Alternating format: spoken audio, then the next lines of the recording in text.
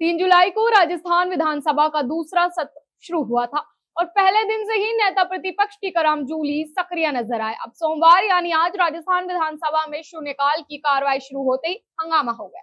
दरअसल नेता प्रतिपक्ष टीकाराम जूली ने बजट की योजनाओं का मुद्दा उठाया, जिस पर खूब हंगामा हुआ। बात इतनी बढ़ गई कि जूली ने स्पीकर से सरकार को पाबंद करने की मांग कर दी और फिर सदन में भी संविधान बचाओ के नारे गूंजने लगे।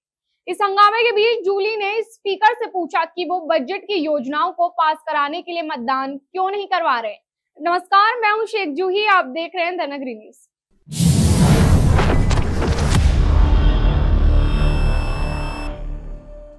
यह हंगामा टीकाराम जूली के उस आरोप के बाद शुरू हुआ, जिसमें उन्होंने प्रदेश की भजनलाल सरकार पर कांग्रेस के विधायकों की अनदेखी करने की बात कही।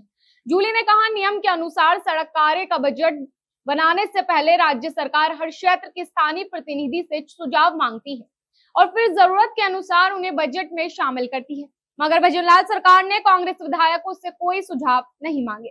उनकी जगह उसी क्षेत्र के हारे हुए बीजेपी प्रत्याशी से सुझाव लेकर बजट की योजना बनाई गई।